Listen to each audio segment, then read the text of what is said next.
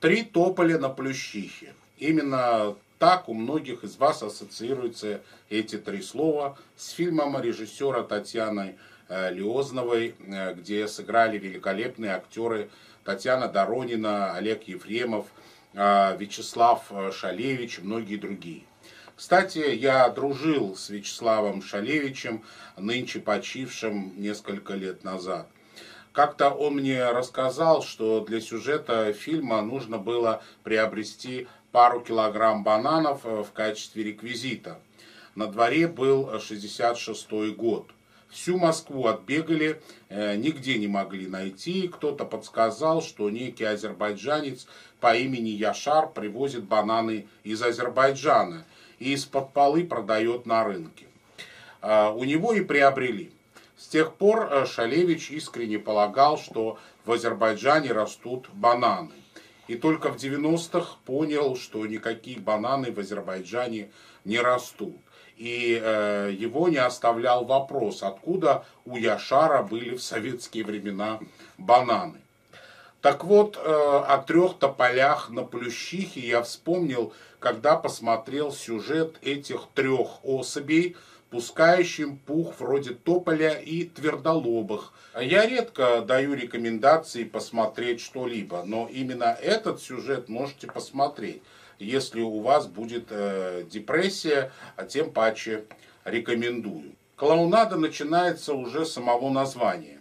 Нет такой нации армяне, их называли в Иране насрани, вока. Забегая вперед, скажу, что в Азербайджане очень любят экозианца, певца, барда, даже называют его историком. И не просто историком, а известным историком, чего льстит самому экозианцу. Я как-то делал о нем сюжет.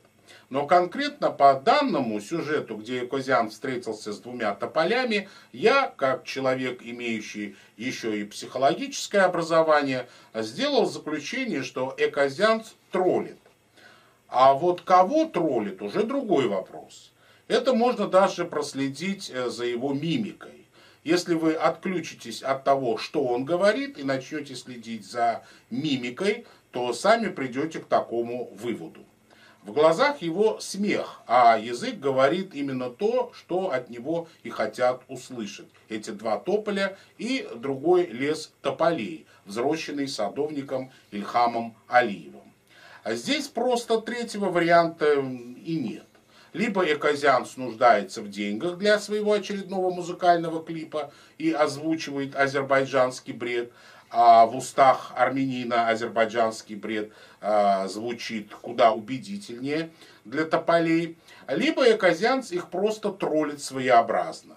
Тем более уже был пример, э, как э, их троллил в Баку Ваан Мартиросян, которого тоже в Азербайджане называли некогда известным общественным деятелем до тех пор, пока он э, не раскрыл всю правду. Сейчас, как видите, ни Ваана, ни его известности. Из азербайджанских СМИ его след простыл. Я ничего не утверждаю, я лишь предполагаю. Теперь по существу. Вернее, по существам.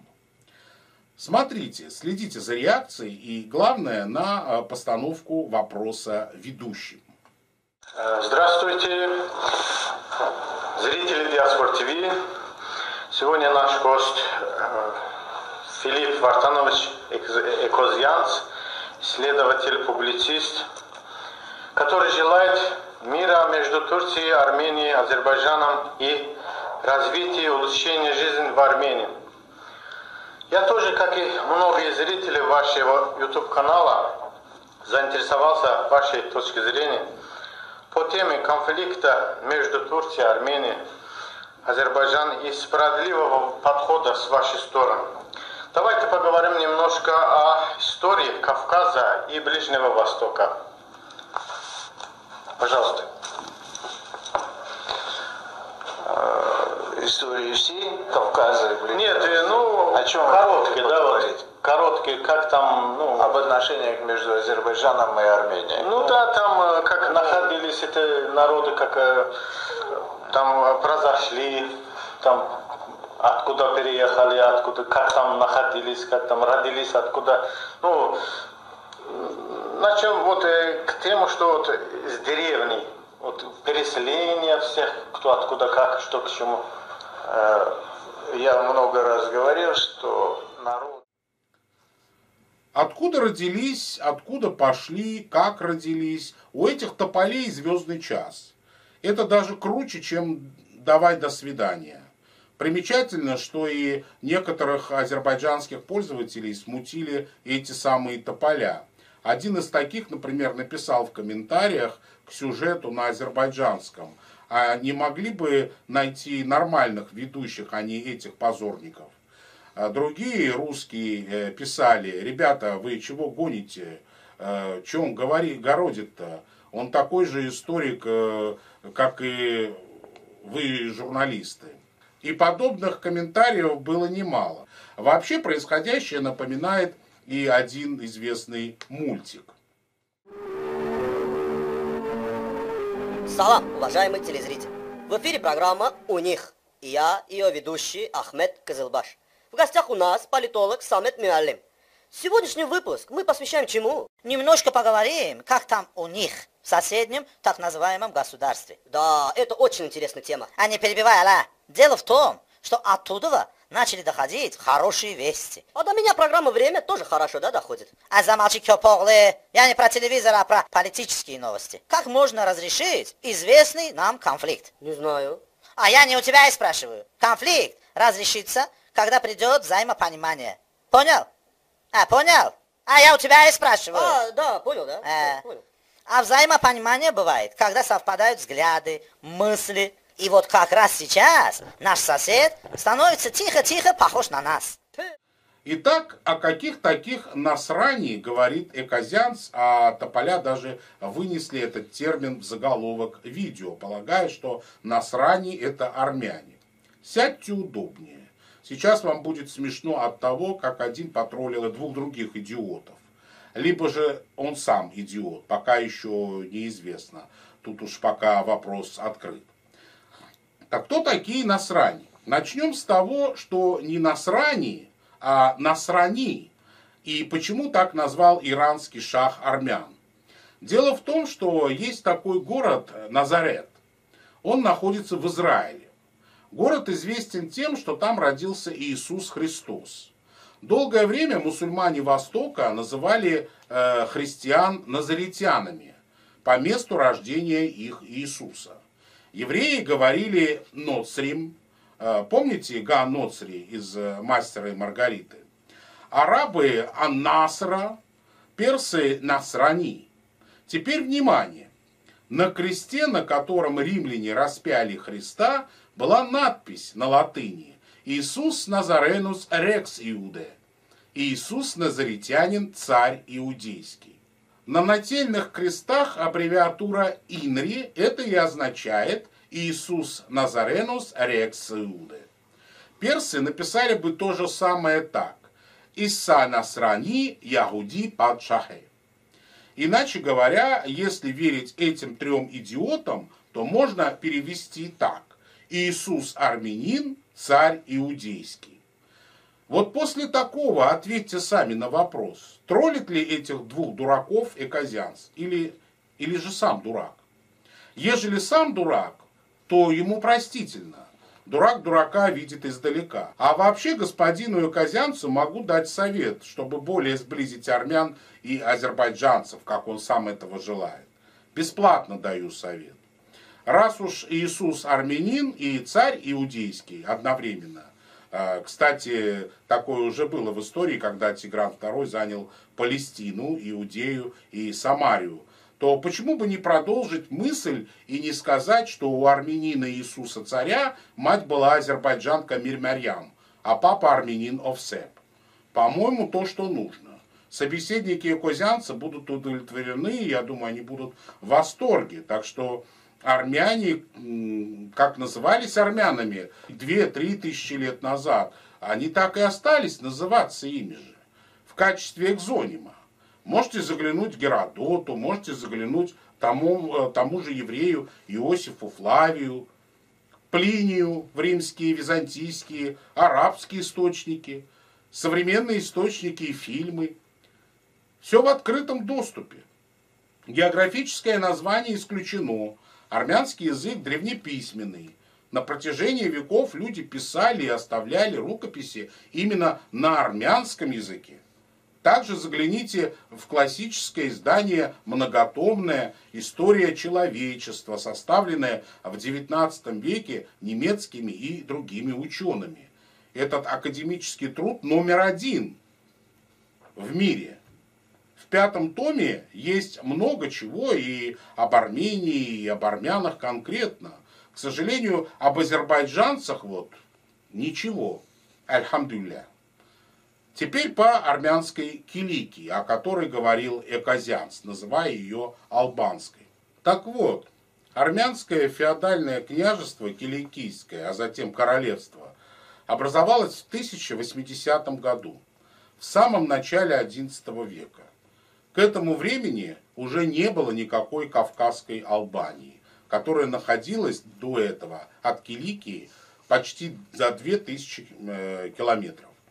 Почти все албанское население, албанские племена были исламизированы, а государство упразднено еще в начале VIII века. Основателем армянского и киликийского царства стал армянский князь Рубен I, бывший телохранитель армянского царя Гагика II. Об армянском киликийском царстве можно почитать и в средневековых источниках на разных языках, и в источниках нового времени. Об армянской Килике известно практически все. И имена царей и цариц, и их союзнические отношения с царскими домами Франции, Бельгии, Палестины. Все вплоть до имен. Чего выдумывать-то? Особенно много известно об этом княжестве тем, кто изучает историю крестовых походов, так как э, путь прокладывался через армянскую Киликию. Кстати, Арда армянская, дочь Тороса, стала первой королевой Иерусалимского царства, будучи супругой Балдуина I, короля Иерусалима. На то время об албанах уже знать не знали, тем более в этих краях. Нынче потомки киликийских армян живут на греческом острове Крит, Венеции, на Мальте. А, там у них был и свой храм, э, я имею в виду на Мальте, Э, Тольезе, он был и сейчас есть, э, который я посетил два года назад. Кстати, несмотря на то, что армянская церковь в Иерусалиме была основана значительно раньше, но именно во время крестовых походов, где активно принимали участие и киликийские армяне, расширился и был основан армянский квартал Иерусалима. Это 12 век, не албанский квартал, армянский квартал которые по сей день существуют в Иерусалиме, наряду с иудейским, христианским и мусульманским, южнее э, Явских ворот э, между башней Давида и горой Сион.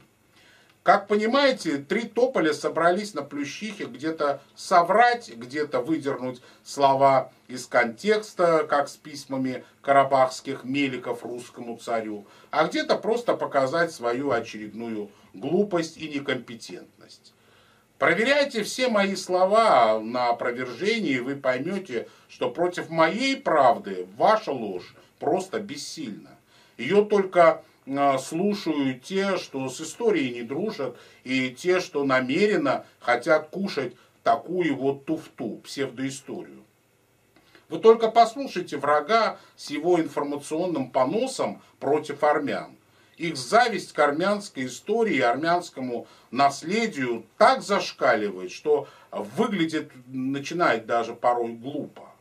Но если верить им, что армяне на протяжении э, там, всей своей истории подкупали и Геродота, и Плиния, и Марко Поло, и Потто, то нам, армянам, только стоит гордиться этим – ведь идиоты, которые искажают армянскую историографию, даже не осознают, что раз уж армяне подкупали таких влиятельных в мировой истории личностей, значит, э, а, армяне были не менее влиятельными на протяжении тысячелетий, И Б, что немаловажно, армяне просто были на протяжении а, тысячелетий. А раз были и есть, то о чем тогда спор?